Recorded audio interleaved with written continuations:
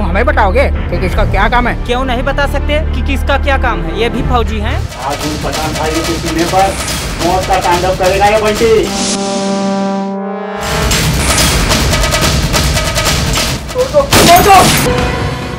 Inspector ये सब क्या हो रहा? कहाँ है आपका पुलिस डिपार्टमेंट? अरे आए दिन मर्डर की खबरें आती हैं। क्या हुआ? मुझे नौकरी से निकाल दिया। ये लिख कर कि मैं खूनी हूँ। तेरी बीवी है ना, उसको एक रात के लिए मेरे पास भेज दे, फिर पैसे दे दूँगा। अरे कमीने, मैं पुराना फौजी होता तो तेरे शरीर के इतने टुकड़े करता तेरा पूरा परिवार गिन नहीं पाता।